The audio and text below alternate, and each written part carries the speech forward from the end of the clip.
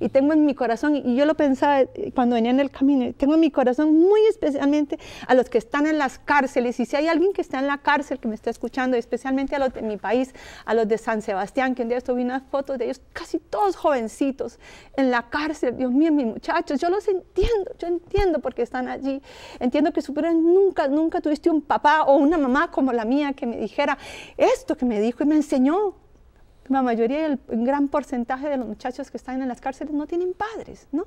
Entonces a esos muchachos que están en eso, yo los invito a que, está bien, no lo tuviste, y yo te pido perdón en el nombre de tu papá y tu mamá, de los que te engendraron. Te pido perdón porque has sufrido y te creaste en un pésimo ambiente, te entiendo. Y te creaste entre la droga y te creaste entre cuchillos y te enseñaron a robar y te enseñaron a prostituirte, pero no te enseñaron el amor de Cristo en la Eucaristía. Y sé que tienen capellanes en las, en, los, en las prisiones. Díganle a los, a los, a los, a los capellanes de las, de las prisiones que se les muestren quién es Jesús.